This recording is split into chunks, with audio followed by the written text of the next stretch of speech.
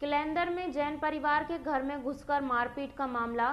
परिजनों ने तलवार लेकर दो युवकों द्वारा मारपीट करने का लगाया आरोप और थाने में की शिकायत।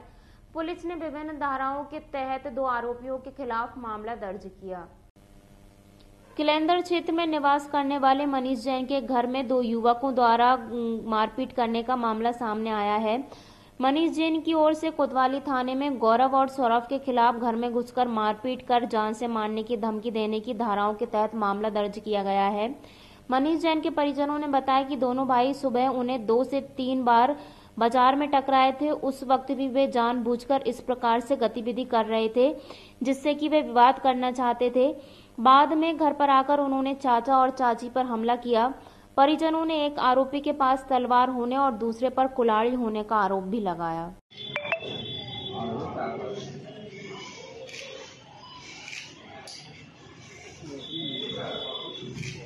क्या नाम है आपका? रानी जैन। कहाँ रहती हैं आप? किले अंदर। अच्छा आज घर पे क्या घटना घटित हुई है? हम लोग पति पत्नी दोनों अंदर कमरे में बैठे थे। हाँ। खाना खा रहे थे ये। तो ये आया अचानक से आया अंदर कमरे में? कौन आया था? ये गौरव महाराज। हाँ। ये अंदर आया अंदर आके इसने सीधा आके हमला कर दिया। तब हाथ में तलवा लिया था और बाहर रख- रखा था उसने ब्रश उठा के भी दोनों चीज़ उठा ली। तो आके इसको इनने मतलब इनके ऊपर हमला कर दिया। किसके ऊपर किया हमारे पति के ऊपर।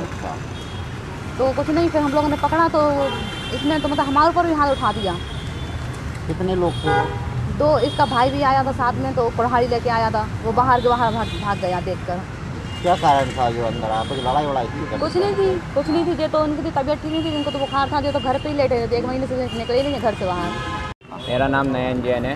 कहाँ रहते हो आप? किले अंदर में रहता हूँ। क्या घटना घटित हुई है आज? ये मेरे ही घर में है मेरी चाची की और चाचा वो खाना खा रहे थे और ये अचानक घुसा तलवार लेकर सीधा हमला किया इसने। और आज सुबह मैं मंदिर से आ रहा था तो इसने मुझको मैं बार बाल बाल बचा, गाड़ी भी इसने मतलब करने के तो मैं निकल गया, मैंने निकल गई होएगी मैंने तक उसको इग्नोर किया। उसके बाद अभी मैं मार्केट आया तो जब भी मतलब ये वहीं बैठे हुए थे मोहल्ले में तो अपन ने ध्यान नहीं दिया। और अब मैं मंदिर मार्केट गया तो फिर ये घटना घर पर हो गई। घर पर कोई भी नहीं था चाची चाचा थे। और कोई नहीं तो सीधा ये अंदर घुसा और इसने सीधा हमला किया। जब हमको कॉल किया तो हम लोग पहुँचे। कितने लोग थे ये लोग और क्या ये ये ये ये तलवार लेकर आया था इसका भाई था वो कुल्हाड़ी लेकर आया था तो वो जैसे ही आया तो पीछे तो जैसे ही देखा कि घर पे है तो जो एक वो भाई दो वापस चला गया भग गया। दारू थी क्या कोई पुरानी? पुरानी रंजिश नहीं थी। ये ये ड्रिंक भी करा था ये सुबह मतलब इसने एक दो बार एक बार हो, दो बार मतलब मुझको सुबह गाड़ी करा, एक बार।